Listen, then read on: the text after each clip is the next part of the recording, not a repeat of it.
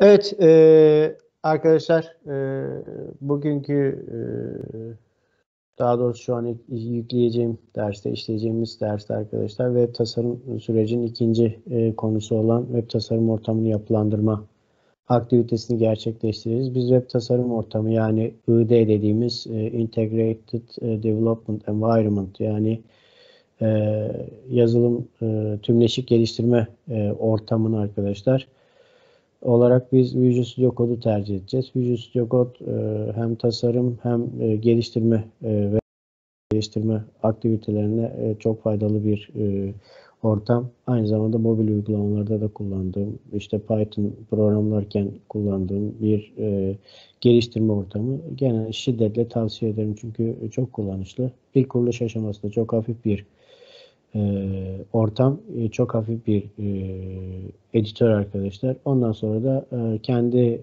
e, kullanacağınız dile göre extensionlar kurarak ortamı ne yapıyorsunuz? Yapılandırıyorsunuz, geliştiriyorsunuz. Biz hemen başlayalım arkadaşlar. İlk aktivitemiz Visual Studio Code'u kurmak. Basit bir şekilde Visual Studio Code kurulum aktivitesini gerçekleştirebiliriz. E, arama bölümüne arkadaşlar e, Visual Studio Code e, download yazarsak zaten direkt e, sayfamız geliyor. Burada işletim sistemimiz arkadaşlar neyse onu seçip dosyamızı indirebiliyoruz arkadaşlar. Visual Studio Code'u indirebiliyoruz.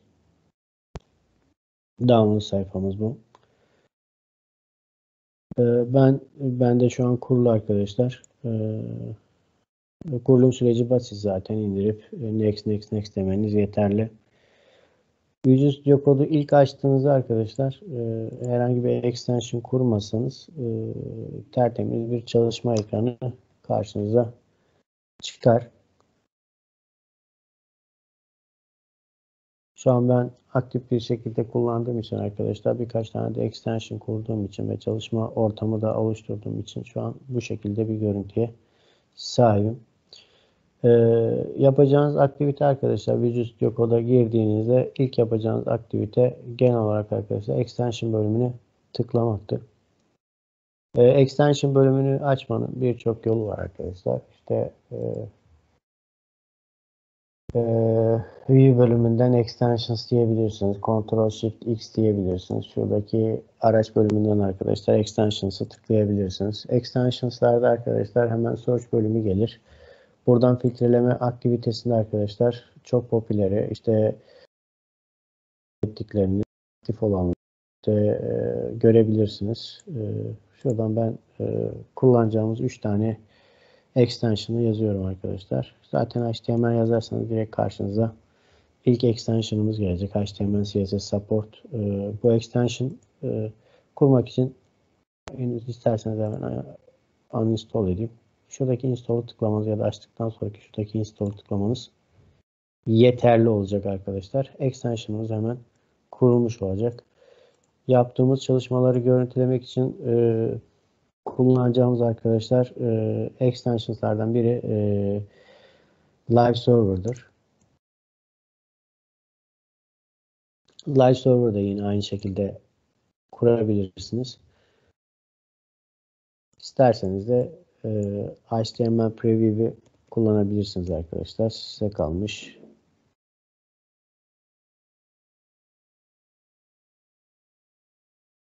Şuradaki extension'ım hangisini tercih ederseniz ben genelde Live Server kullanmayı tercih ediyorum. Live Server kurduğunuzda zaten şuradaki Go Live simgesi çıkar arkadaşlar. Buradan çalışmanızı yayınlayabilirsiniz. Örneğin hemen ilk e, yapılandırma aktivitesinden sonraki ilk HTML sayfamı da şuradan çalıştırabilirim arkadaşlar. Ee, Visual Studio Code'da çalışırken e, kullanacağınız diğer yapı arkadaşlar terminal bölümüdür. E, genelde e, CLI dediğimiz Command Line Interface e, çıkar. Buradan e, kullanacağınız e, dille ilgili birçok e, komutu çalıştırabileceğiniz bir bölümdür. Şu an HTML, CSS aktivitelerini çok kullanacağınız bir depo, e, bölüm değil ama e, mobil uygulama geliştirirken veya web geliştirme sürecinde burayı çok aktif bir şekilde kullanacağız.